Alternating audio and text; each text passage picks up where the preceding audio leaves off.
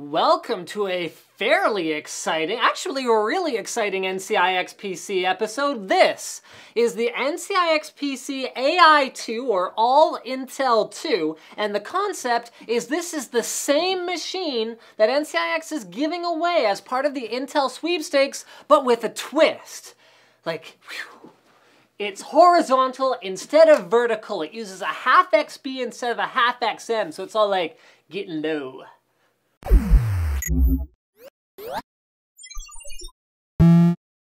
So the main concept here is it's an all-Intel system equipped only with the latest from the Blue Team and made complete by enthusiast class hardware from ASUS and it's got kind of an unorthodox shape for both functionality and outstanding looks. In addition to being lower to the ground for stability, it also acts as a convenient table. Say for example, if uh, we had to film this video and I wasn't quite done eating my pot pie just yet, I could be like, okay, yeah, sorry, you gotta take a bite here.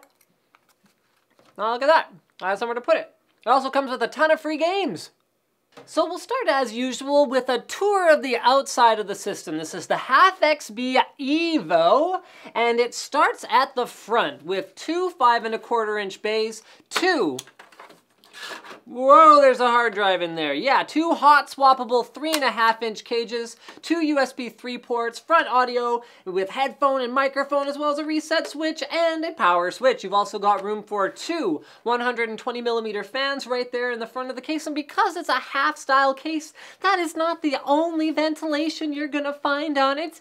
On the right hand side, we've got more ventilation. This is next to the CPU socket area, as well as these convenient handles for carrying the system around. They're actually extremely robust, even though the system isn't particularly small and can actually accept an ATX motherboard, it's still relatively easy to move around because of those handy dandy handles. On the left hand side, more ventilation. This is next to the PCI Express slot area, so you're gonna get a little bit of passive air intake or exhaust next to your graphics card or cards.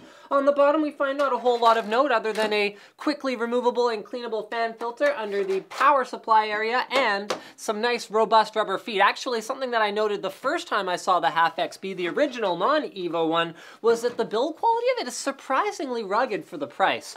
On the back, we find a 120 millimeter fan mount that has a radiator in it at the moment, as well as a bulge that's what I like to call power supplies that stick a little bit out the back. This gives you a little bit of extra room internally for longer power supplies or modular cable interfaces. Two 80 millimeter fan mounts, neither of which are being used. These are mostly for cooling the hard drive cage inside. And then seven PCI slots. I.O. is provided by an ASUS Z87 motherboard with six USB 3.0 ports, a PS2 combo mouse or keyboard port, wireless antennas. So yes, wireless is included with this system as well as Bluetooth. HDMI, DisplayPort, DVI, and VGA outputs if you did want to use the onboard video, as well as optical audio out, gigabit ethernet, and 7.1 analog audio out. Finally at the top, ugh, you can see the enhanced cooling and lighting. So there are BitFenix lighting supplies all over this system with a sort of unique contrasting color scheme that gives it a very sort of red and blue slash purple look. I'm just describing what you guys are looking at. You can see how cool it looks.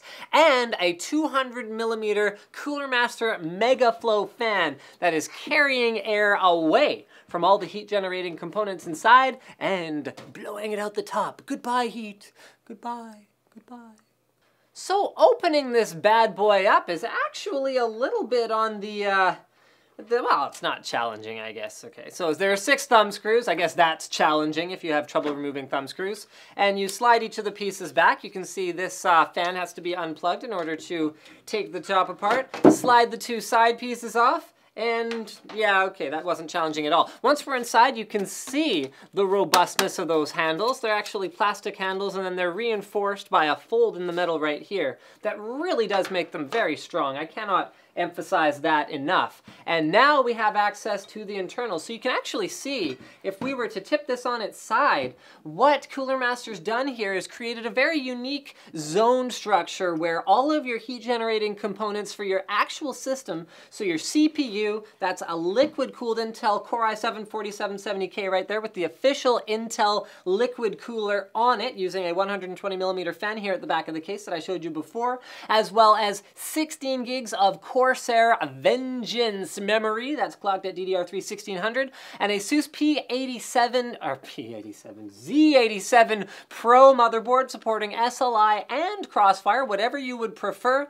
and a ASUS GeForce GTX 780 DirectCU2. This is one of the best choices for a graphics card on the market. It's not going to be quite the, you know, FPS per dollar as some of the lower end options, but it delivers a truly high-end gaming experience because it's got a GK110 core inside without having quite the same premium that you'll pay for the TI version. So it's a great choice. Storage is taken care of by Intel's all new 730 series SSD. So there's a 240 gig drive in there and that's uh, tucked right there in the bottom behind where those cooling vents are that I showed you at the back. And uh, we buy a Seagate 2 terabyte SSHD because the NCIX PC team figures at this point for the small incremental charge on an SSHD versus a regular hard drive, it is a very compelling choice to get that extra speed boost that you otherwise would not have.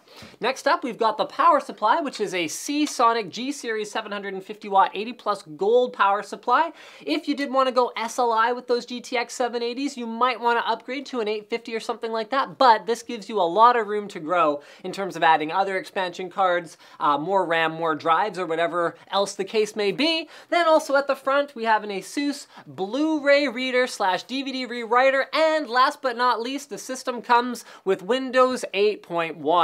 Now on to the freebies. I mentioned free games before, but I didn't tell you what was included. Assassin's Creed 4, Splinter Cell Blacklist, Total War Rome 2, Daylight, $150 worth of in-game currency for Heroes of Newerth, Path of X-File, and X-Files. Path of X-Files. That would be a great game. Path of Exile and Warface. That is $325 total based on pricing on Steam at the time of filming. So that wraps up this week's NCIX PC, which you can win something very similar to, or you can own one for yourself, even if you don't win. Not to mention, it makes a great, like, lifting apparatus. Don't tell the Russian I did that with his system. He might be weirded out. Don't miss any videos just like this one or other videos with great tips and tricks and all that kind of great stuff from NCIX.com by making sure you are subscribed to this channel right here.